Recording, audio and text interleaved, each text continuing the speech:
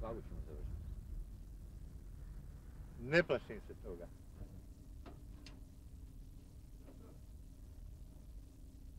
Ove snimanja pusti.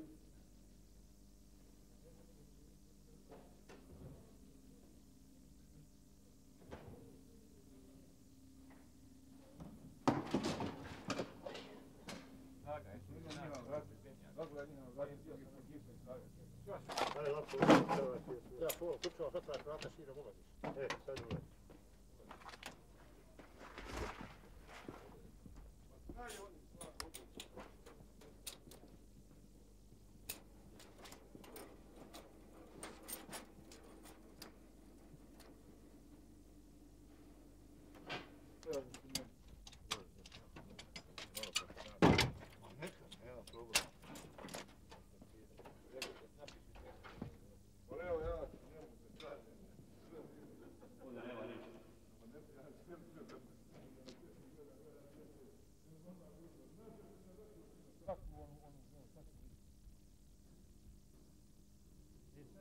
Ona koja treba, nisu ni strana koja treba